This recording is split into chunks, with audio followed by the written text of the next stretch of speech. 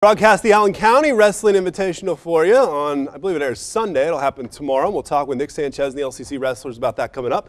But Defiance Wrestling, among others, in action at Defiance College today. The Fricker's dual meets, including Archbold, Tinora, the host Bulldogs, and seven other schools squaring off as we get into tournament season. As you see, Pat Murphy and company there for Defiance. It's Juan Perez of Defiance taking on Archbold's Andrew Francis early in the second period.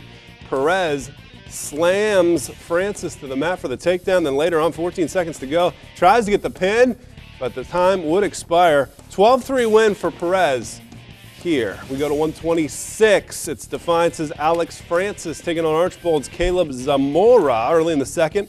Zamora down two to nothing, takes control of the match, rocks Francis back in the cradle, and gets the pin.